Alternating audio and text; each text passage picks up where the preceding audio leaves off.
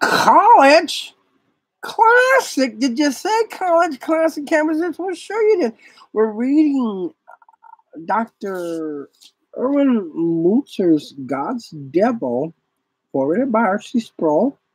And we're in chapter 9 Fear. The fear of witnessing for Christ's experience is so natural that we seldom think that Satan would have anything to do with it, right? Wrong. As we read throughout the candlesticks, we're finding that something's going on here. You see, a lot of people think the candlesticks are just because it's the end of the world. God's calling. It's not like that. They're being killed. And they're being killed in a way that it looks like they're naturally dying, and it's God's judgment against them. Ephesus, killed. Smyrna, killed. Pergamum, killed. Thyatira, killed. What were they killed for? What, did they die for? Adultery, sodomy, fornication, worship, uh, idolatry. So when we get to uh, Sardis, he says, uh, A few will walk with me in white, for they are worthy. When we read the seals of these candlesticks, we find out, or these lampstands, we find out, or even the candlesticks, we find out that uh, they give them white garments by this time and told to rest. Because they're screaming out, We've been killed! We've been killed! When are you going to have vengeance upon the inhabitants of the earth who killed us? They're inhabiting in my flesh, in my home, making love to my wife, perhaps even, or my husband.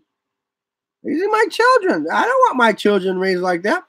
Well, what do you mean, raising my children? Well, in Thyatira and Pergamum, there, we're told that uh, the prostitute teaches her servants to commit adultery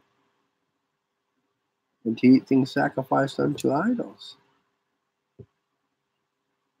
Uh, that's not possible. Come on, I'm just stupid. No one takes on your appearance. No. Ezekiel 1, they can't take on your appearance, right? Job, right? One devil can't come down and do that. He can't go up and down into and from the, the earth. It kind of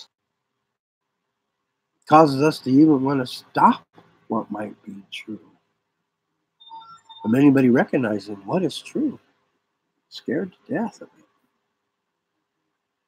Something like that would cause world war.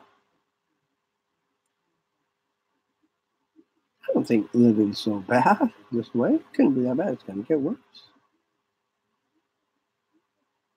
The fear of witnessing for Christ, uh, Satan wouldn't have anything to do with it. Oh, yeah. he goes throughout the candlesticks, so you're going to see him in Philadelphia. He's going to be the pastor out there. I bow down and worship the Lord Jesus Christ. My name is Lucifer. I'm Pastor Damascus, and I want you to worship the Lord. Come on, right now. Come up here, everybody. Worship the Lord Jesus Christ right before me. Oh, yeah. Come on. Come on. Face off. Face off.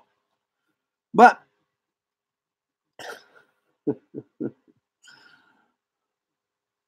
yeah, interestingly, before Peter denied that he knew the Savior, Christ explained, Simon, Simon, Simon Peter, behold, Satan has demanded to have you that sift you like wheat. Oh, he's going to be sitting right there with the lynchings. Satan. Natural and actually helpful to our survival. We should fear driving too fast or crossing the streets without looking. The fear of being mugged reminds us of to be careful at night. Um, we all fear sickness, poverty, death, frightening childhood experiences can lead to irrational fears. You know, there are a lot of things that will, um, how do you say, covet fear too. I didn't say that, did I? No. Could I had to be okay, so, uh, but there are those fears that are exaggerated, paralyzing, and controlling. Hmm. We do not have to be paranoid to be bound by fears that simply are unwarranted. Paranoid, Ozzy. Ozzy, you think he had, he was feared a lot? Paranoid, Ozzy. Oh, okay, so right, right. Okay, okay, so frightening childhood experiences can be okay. So uh, unwarranted, or for the matter, there are fears that might be real enough, but they do not need to control us. Right? Christ, for example, said that we need not even, not even, not even yet. I can see the airplane coming. Hey, mom of fear those who destroy the body, but rather are to fear him who can destroy the body and the soul in hell. Right? right. Right?